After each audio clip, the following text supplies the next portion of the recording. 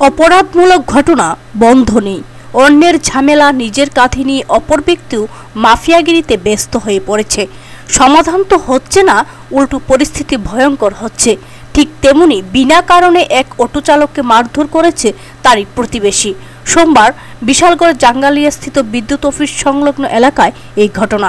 আক্রান্ত অটো চালকের নাম সুকান্ত নট্ট দাস।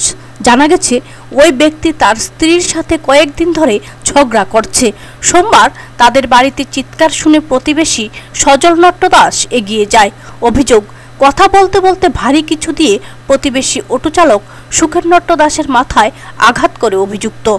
ঘটনার পর সজল নট্ট দাস সেখান থেকে পালিয়ে যায়। রক্তাক্ত অবস্থায় অটো চালককে উদ্ধার করে বিশালগড় হাসপাতালে নিয়ে যায়। তার মাথায় বেশ কয়েকটি সেলাই লেগেছে।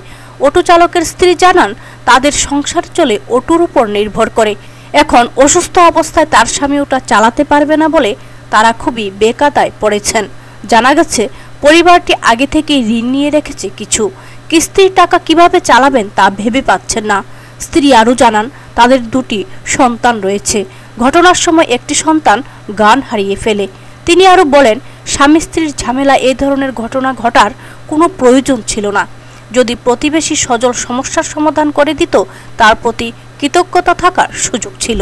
ঘটনা হয়েছে, আমরা স্বামী স্ত্রী বেজান এই আমি কাগজ না দেখে উঠে কেসে করছে আর কি। কেসে আমার অন্যায় হয়েছে, আমি করতে কইছি হে করতে জানে সেটা আমার স্বামীরে মাথা ভিতরে বাড়ি মারছে। বাড়ি মেরে সেটা মাথা বাড়ি সারা শরীরে বাড়ি মারছে, আর মিশে কেটেছে বাচ্চা উচ্চা সিলেতেছে এমন কি দেখো আমার শাশুড়ি কেমন খবর পাইছে সেটা চিল্লাপাল্লা কত জল টল ডালতেছে কেউ বাড়িতে নাই। বাচ্চার দিকে সিলেতেছে ডরে গেছে আমার বাচ্চা ফিট হয়ে গেছে কেমন বড় মেয়েটা এবার আমার সাইডটা পাঁচটা বন্ধ না আছে, আমি কি হে বাইরে সেটা গেছে গা পাওয়া বাইরেছে মাথা কে বাইরে কে মারছে? এই সজলে। টাইটেল কি? সজল দাস।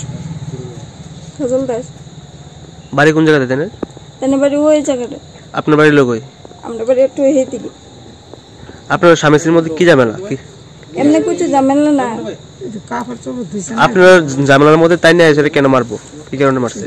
কি কারণে আমরা আমি কইতে পারি না তেনে কি কারণে মাসে আইসে মারে মারতেছে আইতের লাডি একটা তো আসলো। মেরে সেটা হয়ে গেছে। আমার চারটা পাঁচটা বন্ধন আছে দুইটা আছে। আমি কেমনে চললাম